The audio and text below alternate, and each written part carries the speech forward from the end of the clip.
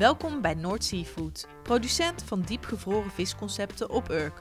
In 2011 is Noord Seafood met Microsoft Dynamics NAV gaan werken om meer grip te krijgen op het productieproces en de kostprijs, omdat de marges steeds krapper worden. Voor ons zijn heel belangrijk eh, de marge en het productieresultaat. Dus wat is uiteindelijk het, de kostprijs van het goed wat wij geproduceerd hebben.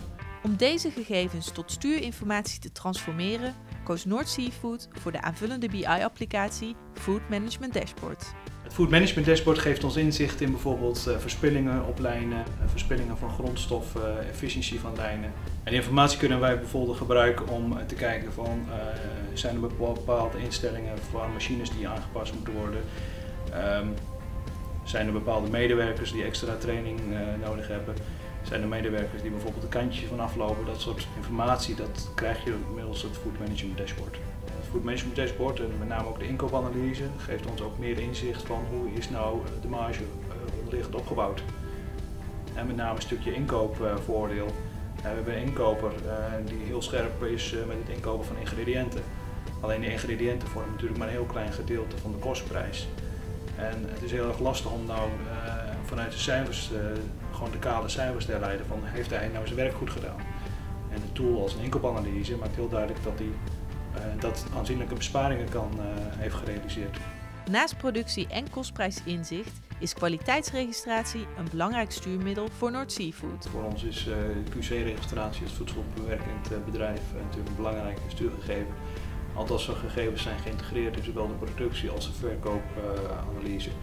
En dus we kunnen heel makkelijk uh, een analyse maken van joh, wat, wat zijn nou de klachten bij die klant en wat verdienen we nou uiteindelijk aan die klant.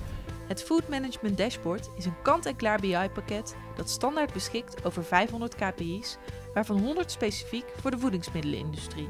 Deze KPI's zijn gegroepeerd in kubussen, zoals de inkoopkubus en de productiekubus.